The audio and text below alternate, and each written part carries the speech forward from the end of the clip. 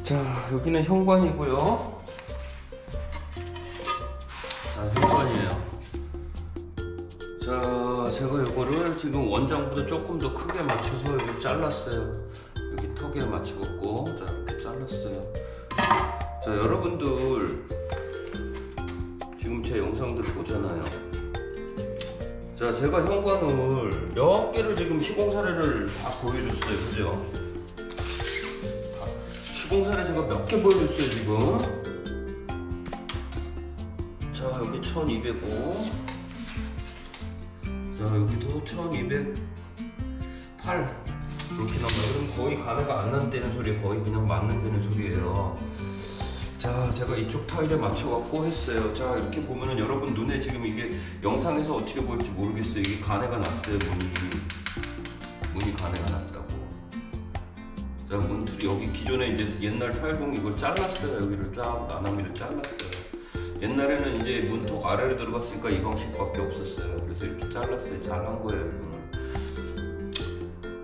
자, 제 거 영상을 지금 다 거의 다 봤다고 하잖아요. 그럼 여러분 이 현관에 대해서 마스터가 돼 있어야 돼요. 현관은 이게 마지막이에요. 이게 마지막 사례예요. 거의 거의 마지막 사례 그냥 가장 우리 흔하게 기본적으로 나오는 사례. 그거 중에 이게 거의 마지막 사례인데요. 자, 영상 이거 지금 불 자꾸 꺼지니까 센서 등이라서 자꾸 꺼지니까 자 꺼지는 거면 어떻게 할 수 없고 그냥 꺼져도 어두워도 그냥 마세요.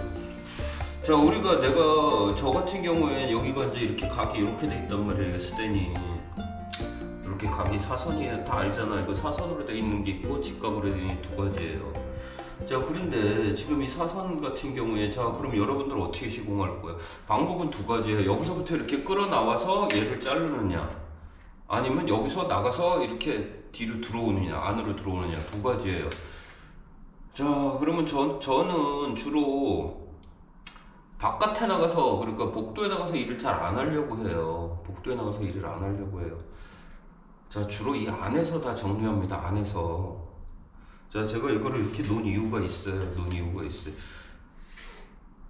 자 영상이 제가 현관에 이게 하여튼 이게 마지막 사례예요. 거의 마지막 사례일 거예요. 이제 현관에서는 뭐 더 이상 배울 게 없어요. 내 영상에서는. 여러분이 공부를 했냐 안 했냐 그 차이예요 이제 나머지는 자 공짜라고 해서 공부를 소홀히 했다고 그러신 분은 뭐 어떻게 하셔도 제가 없는 거고 자 공짜라고 해도 열심히 하신 분들은 틀린 거예요 자 지금 여기서요 제가 이 타일을 놓으니까 여기가 딱 원장이 떨어져요 이 그러니까 이 스댄 비트에서 1cm 이만큼이 딱 원장이 떨어져요 이만큼이 저기가 저기가 제일 긴 면이에요. 여기 짧은 면이 제일 짧은 면이에요. 여기 나나미가 져가지고 짧아요. 자, 그런데 이거를 여기서부터 스타트를 잡았을 경우에는 그럼 이걸 어떻게 스타트 잡을 거예요? 지금 나처럼 이렇게 시공한다면 하나하나 잴 거잖아요. 자, 이렇게 잴 거란 말이에요. 근데 이렇게 재는 방식이 있고 아예 이거를 딱 두 번째 장을 각을 먼저 쳐놓고 그 다음에 여기를 잰단 말이에요. 여기를. 자, 1cm 내가 1cm 분명히 줬다 그랬어요. 얘가 타일이 올라탈 거예요. 1cm나 이건 턱으로요. 자, 제 시공을 아는 사람은 이해할 거예요. 1cm 올라탈 거예요. 그러면은 자, 282가 나와요. 282. 자, 282가 나온다는 거는 얼마예요? 1cm 1.1.7이 저기 나나미가 적되는 거잖아요. 지금 1.7이. 그죠? 1.7이 나나미가 졌다고요. 자, 그러면 그 1.7을 갖다가 해보자고요, 이제. 자, 1.7. 자, 여기서 1.7이잖아요. 그러면 여기서 1.7을 잘라야 된다고, 여기서. 그러니까 이게 지금 이게 두 번째 장이에요. 내가 일부러 놀려고 지금 이 표시를 하려고 여러분들 알려주려고 여기다 이걸 표시를 하는 거야. 아니면 저기 나가서 표시를 해야 돼. 내가 여기서 긋지를 못하잖아, 그물이요. 자 그러면 얘가 스타트 자 여기서부터 여기서부터 이렇게 쭉 나가는 거예요 1.7까지 이해 가요? 자, 1.7 하이텐 쟀죠? 자, 그 다음에 보자고요. 정확히 보자고요.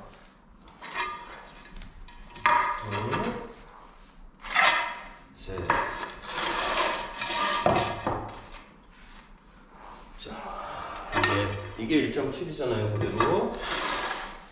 자, 우리가 항상 이 안에서만 나갈 수가 없어요. 저 바깥에서도 들어와야 된단 말이야.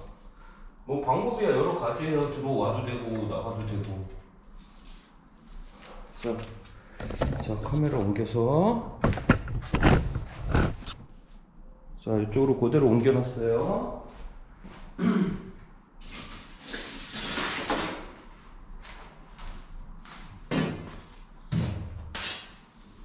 자, 그대로 옮겨놓고, 자, 1.7 여기까지 놓고, 여기 스타트 저기서부터, 자, 스타트서부터 1.7.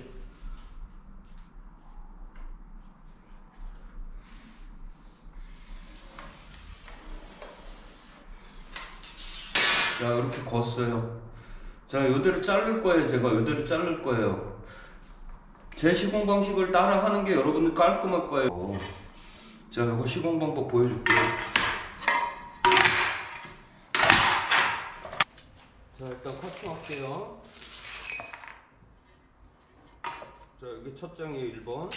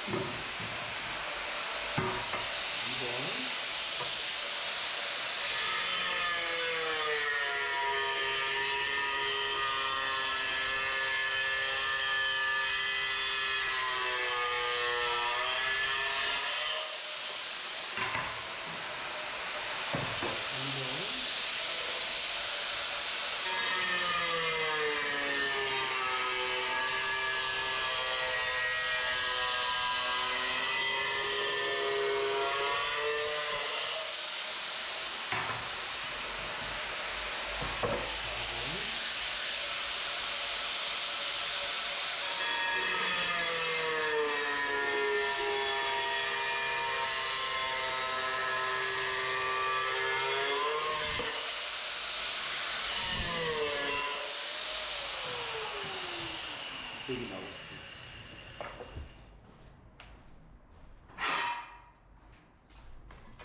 자, 이거 귀가 나갔어요.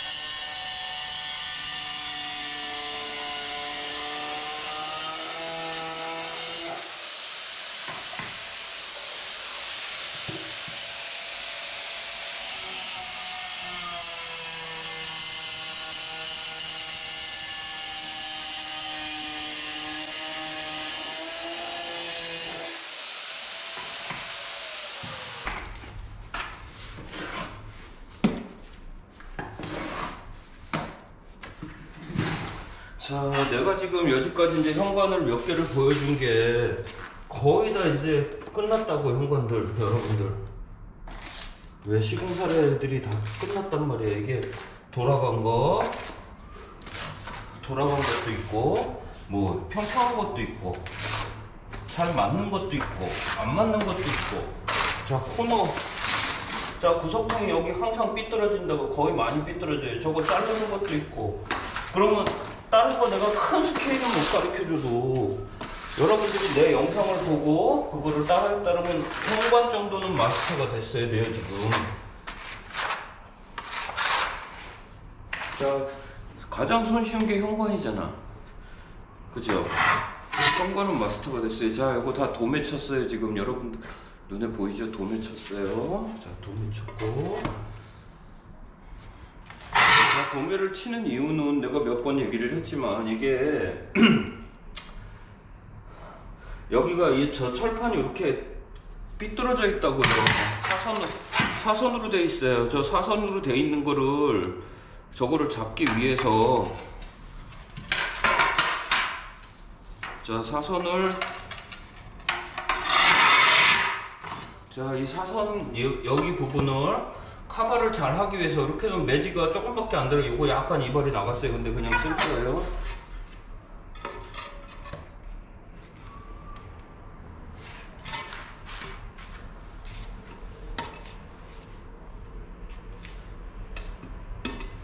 자, 저기 이게 약간 삐뚤어졌어요. 자, 이 벽은 거의 다 삐뚤어져요. 뭐 안 삐뚤어질 수가 없어요. 거의 다 삐뚤어지는데요.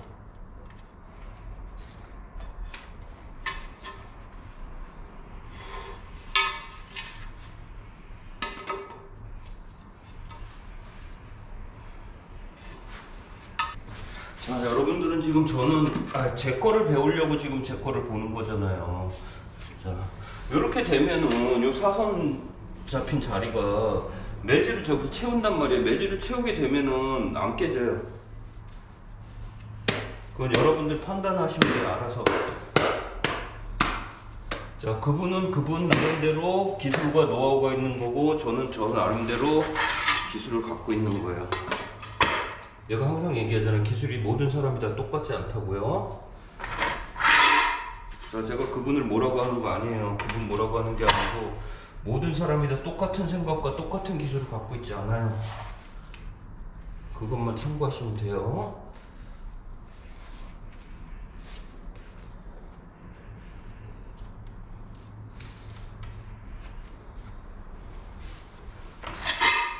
자, 이게 마지막 거의 마지막일 것 같아요. 이 현관에서는 그냥 이거 이렇게까지만 하면 거의 현관 마스터 될 것 같은데요, 다. 더 이상 뭐 현관에서 보여줄 게 뭐가 있어? 여기 자르는 거 삐딱한 거 자르는 거 가르쳐 줬고 저거 뭐 저거 삐뚤어진 것도 뭐 가르쳐 줬고 똑바로 된 거 가르쳐 줬고 현관은 이제 더 이상 배울 게 없을 것 같아요. 나 뭐 영상 뭐 올리지 이제? 영상 올릴 거 없을 것 같은데 이러다가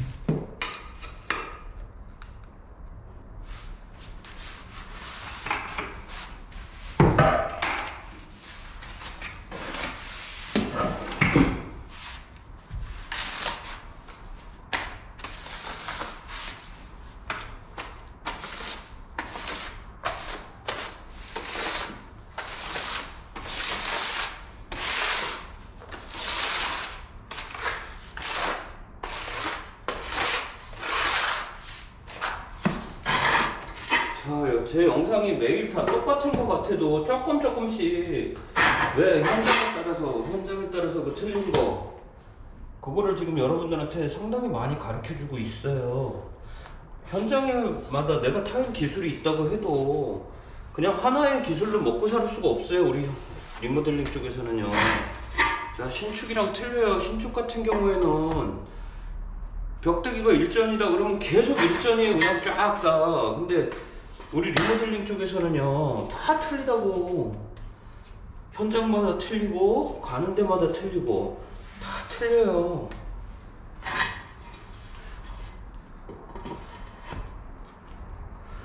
자 그러니까 제가 영상을 올려주는 것들이 모두 다 똑같지가 않은 거예요. 조금 조금씩 다 똑같은 타일을 사용을 하고 있지만 똑같은 시공을 하고 있지만 조금 조금씩 다 틀린 거예요 지금. 그거 알아요?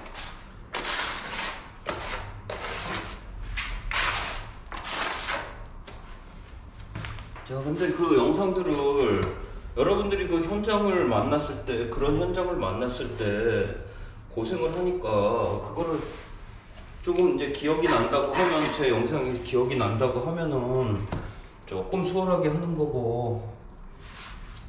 아니면은 내가 배웠듯이 여러분들도 그냥 몸으로 그냥 처음부터 배우면 돼요. 그 현장에 만나가지고 직면을 했을 때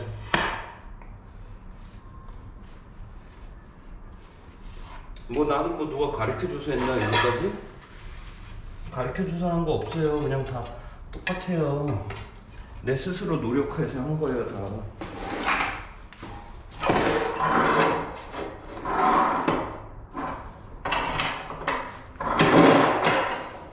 자, 다만 그 길이 너무 길고 험하기 때문에 여러분들한테 내가 조금이나마 도움이 될까 하고서 이제 이렇게 유튜브를 하고 있는 거고.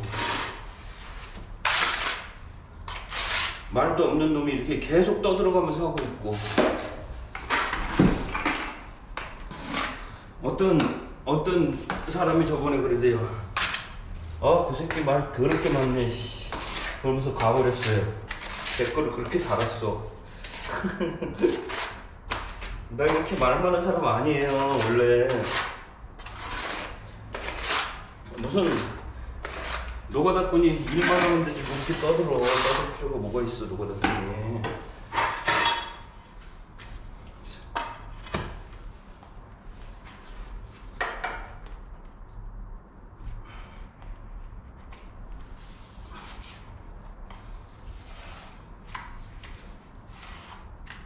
자, 바닥 더럽게 안 맞고 있죠?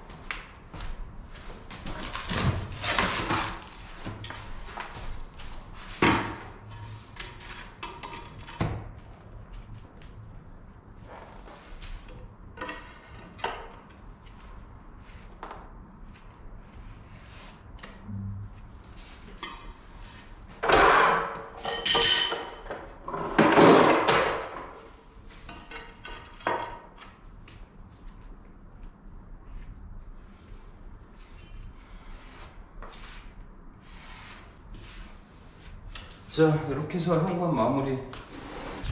자, 한번 볼까요? 자, 여기를 매질을 채운단 말이에요. 매질을 채우면은 깔끔하게 나와요. 여긴 이발이가 조금 나갔죠? 자, 이렇게 하면 지금 저거 삐뚤어진 현관인데도 깔끔하게 나왔잖아요. 저기다 코너비드를 댄다고 하면은 코너비드가 코너비드하고 저 바닥하고 높이가 1cm가 나오잖아요. 그럼 1cm 갭이 생긴다는 거예요. 자, 갭이 생기면은 지금 보기 싫다고 저 부분이요.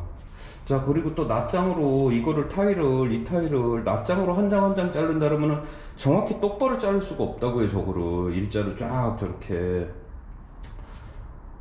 자, 그래서 지금 저런 부분 같은 경우에는 그냥 제가 하나로 만들어 가지고 일자로 자른 거예요. 하나로 만들어서 쫙 걷잖아요. 그렇게 해서 잘라야지 저게 깔끔하게 일자로 나와요. 별거 아닌 것 같은데 이게 그 여러분들 내가 저번에도 얘기했지만 어떤 사람이 하면 잘 나오고 어떤 사람이 하면 개판이 되고 그 차이가 되는 거예요. 뭐 물론 하나하나 잘라가지고 어차피 선수들이 뭐 못 자르진 않아요. 다 잘 잘라. 다 잘 자르는데 이런 방식도 있다. 이거를 이제 알고 계세요.